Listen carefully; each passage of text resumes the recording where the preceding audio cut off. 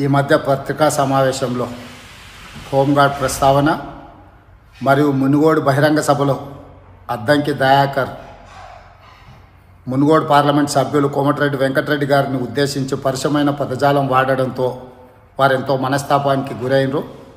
వారు పీసీసీ అధ్యక్షుడిగా నన్ను సారీ చెప్పాలని డిమాండ్ చేసిండ్రు. అన్కండిషనల్గా కోమటిరెడ్డి వెంకటరెడ్డి గారికి సారీ చెప్తున్నా.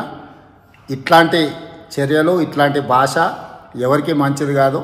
తెలంగాణ ఉద్యమంలో అత్యంత క్రియాశీలక పాత్ర పోషించి రాష్ట్ర సాధనలో పాత్ర పోషించిన కోమటిరెడ్డి వెంకటరెడ్డి గారికి ఇట్లా అవమానించే విధంగా ఎవరు మాట్లాడినా తగదు. తదుపరి చర్యల కోసం క్రమశిక్షణ సంఘం చైర్మన్ చిన్నారెడ్డి గారికి సూచన చేయడం జరుగుతుంది.